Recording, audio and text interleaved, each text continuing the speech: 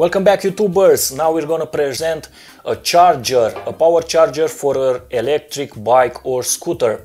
This is a ultra fast charger from Kengshan. I think it's a Chinese electronic charger that is very very rapid. Here you got to connect your European socket for power socket or US socket and here has XLR I mounted myself this XLR because I have at the electric scooter a socket or um, a plug-in like exactly like in the microphones.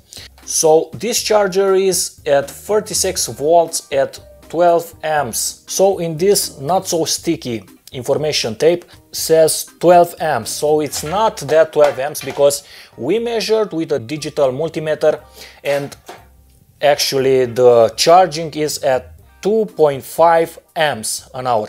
But it's very fast.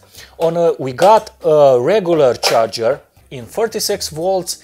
A regular charger it's in 8 hours. This one charges battery in 2 hours two and a half hours maximum. So it's a pretty fast charger for your electric bikes. You can find it anywhere over the internet on ebay.